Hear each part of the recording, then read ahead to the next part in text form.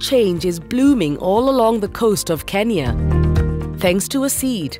This seed, Moringa. Moringa grows in many parts of the world, growing with almost no intervention or maintenance. A friend of mine came out from the United States, uh, as a matter of fact, and said, Well, did you know that Moringa uh, A is extremely popular right now in uh, the Western world?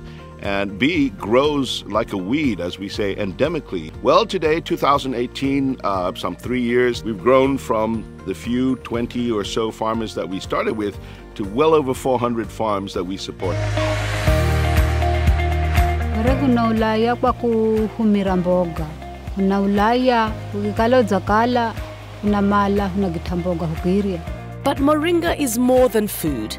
It is a diverse super nutrient with tons of potential locked in the plant, from highly nutritious leaves to a highly desired seed oil used for multiple medical and cosmetic reasons.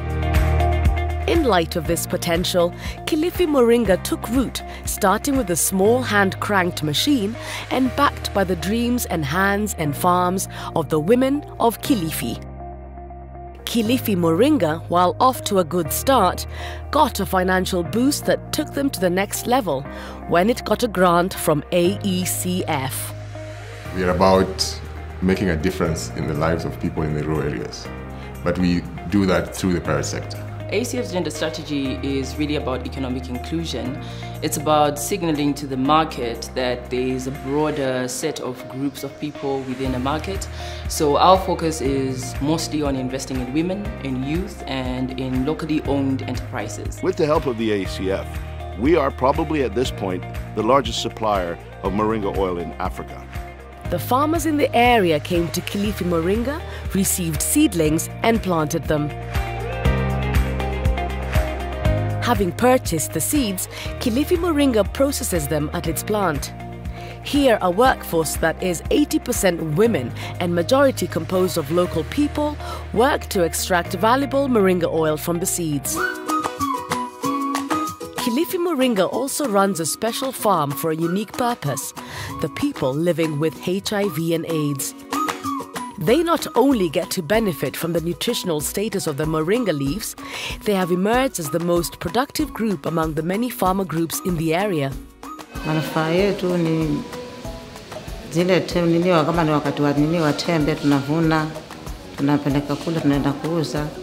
Kama ni zile ile majani yake, tunatunda mboga, tunaenda kupika, tunatumia nini, tunafanya mboga nyumbani, pia inatusaidia katika mwili wetu. Moringa is changing lives in these farms for families and the community at large. Si kwa mm, kuboresha maisha ya kinyumbani, hata kibiashara, kimatibabu pia. Mzungi inatusaidia.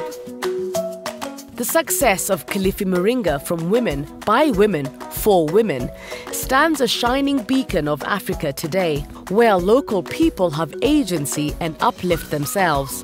Where the women of Africa, the backbone of the continent who work so hard, can become an economic engine that drives the growth of their communities. At the end of the day, it is young people uh, and women who are Africa's great all too often unrealized potential.